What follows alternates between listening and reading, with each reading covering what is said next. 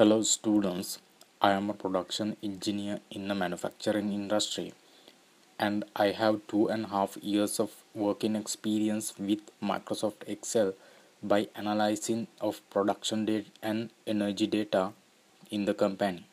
Therefore, I would like to share my knowledge and experience about use of Microsoft Excel with you. In this course, you will be able to learn how to use Microsoft Excel in office or production environment to analyze or record data by using the tool provided in Excel. Let's see course contents of this course. Refresh basics, data consolidations, charts, protection, pivot tables, VLOOKUPs, and most common keyboard shortcuts. Let's see refresh basics. Under refresh basics, you will learn what is the active cell and importance of the active cell with we when we are using Excel. The active cell is most important because when a range of cell is used to apply a rule or formula, we consider the active cell. How to use Excel referencing system according to your requirement. Relative system, mixed system, absolute system. In the Excel, there are three type of referencing system provided and we are discussing each of these referencing system by giving the example for you to easily understand. How to use function provided in Excel as an example if function.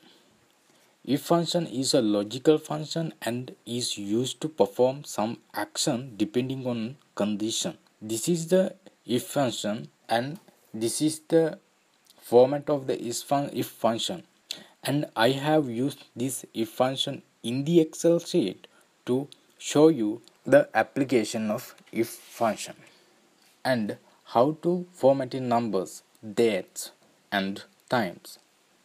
When we consider about the number formatting, you can use hash or zero symbols to format numbers. Here I have used zero formats the number. This, when this is the 45 and it it was formatted in different type of format. This is one type of format and this is the another type and this is the another type. But this format uh, was done by using zero. Same like that we have used hash sign also to format the number. This number formatting is clearly explained by giving the example in the lecture series. Let's see how to format the date in this in the excel. This is one of the example that i have been provided in this lecture series and uh, how to format your data by using these letters. That mean y letter for year and the m letter for month and d letter for the dates. By using these three three letters you can format your date according to your requirement. Those things has been clearly explained by taking the practical examples in the lecture time formatting. When we consider about the time formatting time formatting can be used by using h letter m letter and s letter. S letter for second m letter for minutes h letter for hours. By using these three letters we can format your time according to your requirement. That is also has been clearly explained in the course by providing the example in the excel sheet.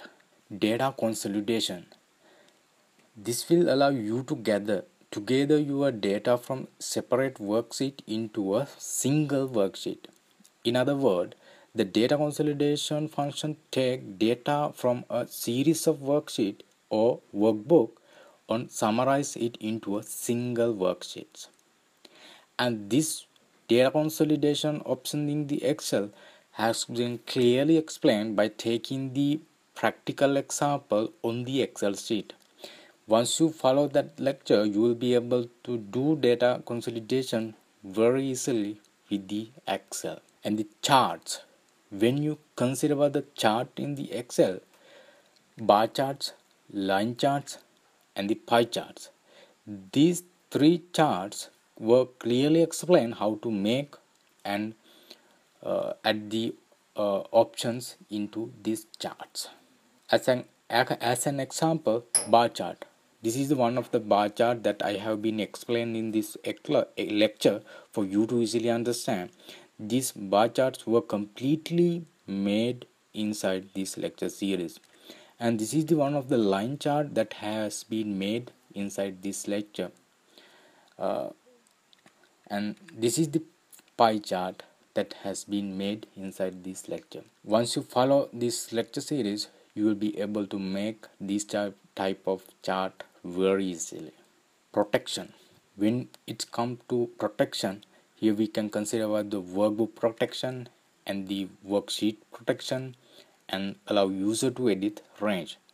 These things can be done by applying the password for your workbook or worksheet or into a range. These things were clearly explained in the Excel sheet. Uh, please go through the content for get more information about this. Pivot table. Pivot table is one of the best tool provided in Excel to analyze the data in easy way. Use of pivot table has been clearly explained in this course by taking the example for you to easily understand. Pivot table is the shortcut provided in Excel for you to easily summarize the data. And these things were clearly explained by taking the Excel sheet examples. And this is the one of the example that I given in the course contents. VLOOKUP. VLOOKUP function provided in Excel to look up data in a table organized vertically.